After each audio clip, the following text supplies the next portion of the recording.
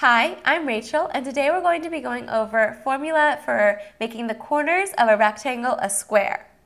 Well, a rectangle and square actually have the same corners, right? They're all 90 degrees. So the difference between a rectangle and a square, remember that a square is always a type of rectangle, but a rectangle isn't always a square. So um, for a square, we need to have all equal sides, right? The side is equal to this side. In a rectangle, that's not a square, we have the length, the longer side, and the width, and they're different lengths.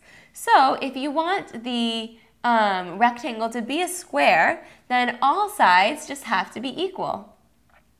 And the quarters are actually still the same, it's just that the sides are all equal, and that's the only difference.